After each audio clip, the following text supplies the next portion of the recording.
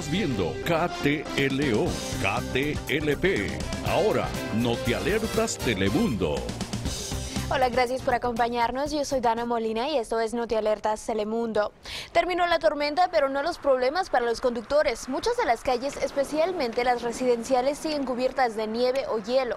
El Departamento de Calles de Colorado Springs está utilizando a todo su equipo para limpiarlas.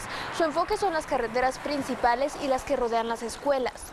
Pero un problema han sido las calles del centro de la ciudad. Normalmente los trabajadores barren la nieve hacia un lado de la calle, pero esta vez no pueden ya que bloquearía los estacionamientos y banquetas. Nos dicen que están haciendo lo que pueden. Amigos, gracias por acompañarnos. El clima con Aviacón y poco después de la próxima hora. KTLO, KTLP, Telemundo, su noticiero en el sur de Colorado, donde las noticias son lo primero.